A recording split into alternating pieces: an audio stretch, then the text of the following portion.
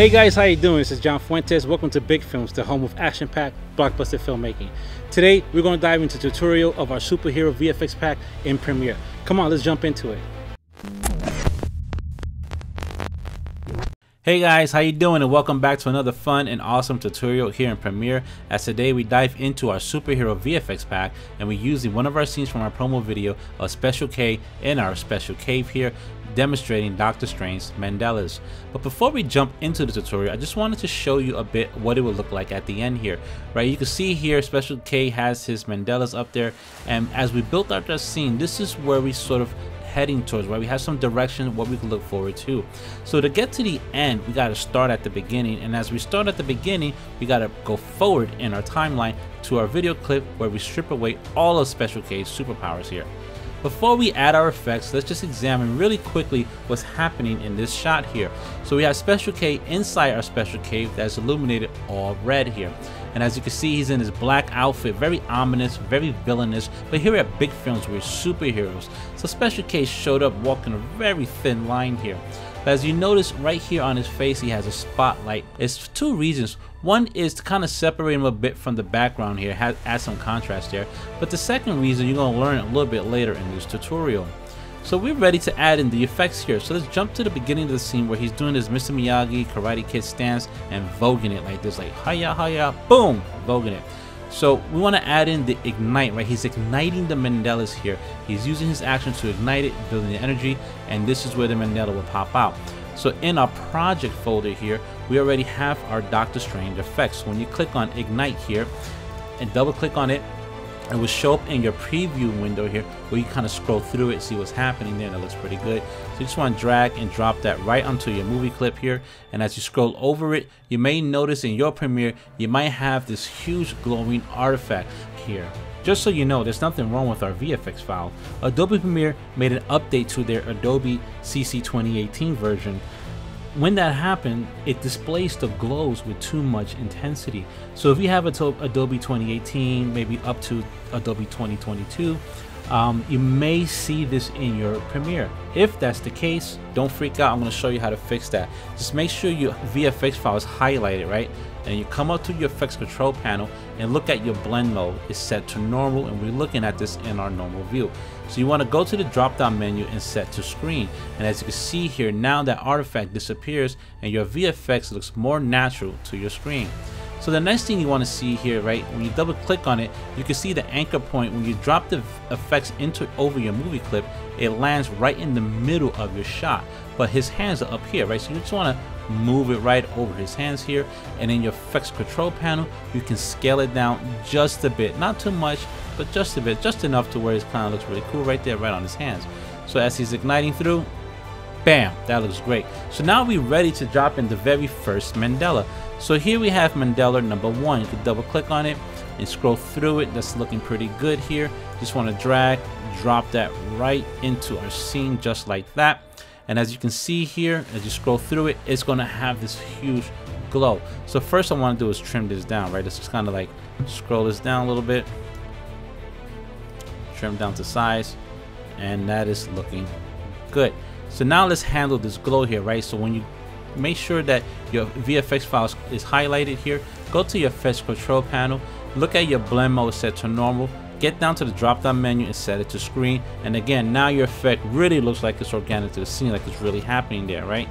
So here we are at full scale here. Now we have the full effect going on, but and this is supposed to be anchored over to his knuckles, right? So first let's scale it down a bit. This looks really good. Kind of kind of gets I mean I think maybe 56 I like a light right, right, right there and boom and then we want to double click on that move that right over here. So here in your anchor point here you want to line it up right some people might want to have it here in his knuckle. I like using maybe the bottom part of his knuckle here. That looks pretty good really solid. So as you scroll through it it's like okay that's looking good. And his hand yeah bam. You may notice as the camera moves closer to him, his hand sort of drifts into the upper third of your frame here. So the effect itself is not moving with his hand. So it's just quickly track that. And that's real simple and easy to do which I'm going to show you right now. So make sure your effect is highlighted. Come into your effects control panel and you look at your position. There's a stopwatch right there. You just want to click on that and you see a keyframe pops up right here, right? So here, now we want to double click on this on our shot here and sort of just kind of have it right there on his little knuckle. And then as we scroll through the shot here, we want to now at this point we'll move it to where the endpoint is we wanted to have it right there and that looks pretty good. At the same time since the camera's moving closer to him we can still kind of come back to the keyframe here right where we started animated it and we can set a keyframe our scale because we can scale this up just enough to show as we're moving closer to him the Mandela itself is growing in size. So let's see here. All right about there that looks pretty good right? So now we kind of go back here and it's like boom that looks good. So now the next thing you want to notice here right the Mandela as you drag and drop it onto your timeline over your movie clip it looks flat right? But we want to create like a little bit of a tilt. So one way you can do that is come into your effects panel um, tab here right and then you see here in your effects panel you're gonna have some presets. And this is really great with Adobe Premiere what they can do here. So in your video effects uh, drop down menu you want to click on that. It drops down and comes down to perspective. Click on that drop down menu and you're to see basic 3D you just want to drag and drop that right onto your Mandela effect here. And as you can see here in your effects control panel you can have some control where you can change the swivel of this here. So we want to swivel it a little bit outward. So we can kind of concrete take this and go to like negative 14 and you can see here you can swivel this really nicely right? So let's go to like mm, right about negative 14 that looks pretty good. Now we on sort of like this sort of like a tilt here right? Now it's almost look like this is larger and this is kind of going that way here creating a little bit more depth of field a little bit more of a 3d effect. And that looks looking that looks pretty good. So let's come back to our editing tab because now we're ready to add in the second Mandela right? Bam. Well let's make sure this is lined up. Right about there right? Let's kind of scroll this over. Boom. Yeah that looks pretty good. So now we want to do is add in the second Mandela here right? So kind of come back over here and right where he's that's get started. Let's go to Mandela number two and drag and drop that right over here. Let's kind of get this uh, lined up with our shot trim it down. Nice nice and good. See how easy that is drag and drop trims and everything just looking sweet? You can expand your timeline. And uh, let's line this up to his hand here right over here. So you can see this little anchor point here. We're to get into his lower knuckle. Look, looks pretty good. So after dragging and dropping this one in you notice that we have to get rid of that flare too. So you want to make sure we highlight our clip here. Come to the effects control panel. Our blend mode is set to normal set you want to scroll down and set it to screen and there it goes. It looks a little bit more organic to the scene. It's the same steps we did with the other effects and now we want to scale this down right? Because it's supposed to be a little bit smaller than the bigger one here and now we want to also kind of put this into position really nicely like that and that's looking sweet. So let's see what's going on. Boom. That's a little out of place there. Boom nice nice that's looking good so in this shot here we don't really have to do much tracking on his fist there, right? But what we do have to do is the same thing with our effect. We want to add in that swivel, right? So we want to come back to our effects tab here, come down to our basic 3D and drag and drop it right onto our Mandela number two file, VFX file here.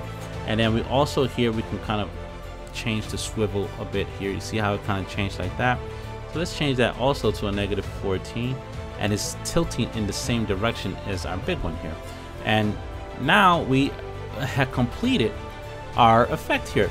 So notice how I talk about that um, glow on his face, right? So that little light on the face that's a different color from all the other colors in the shot here creates this really cool um, effect here where we have all our glowing reds and it's sort of, we still get a bit of special K's face here. We still get his characteristics here. We still see his character in this shot here and it's looking good. So these little subtleties that don't seem like a big deal makes all the difference in making your scene super dynamic. Hey guys, really hope that you enjoyed that tutorial. Make sure you tune into our next one. We have more fun and exciting tutorials coming up real soon. Until then, always remember, you are what you write, you are what you shoot, and you are what you edit. With that said, go out there and make big films.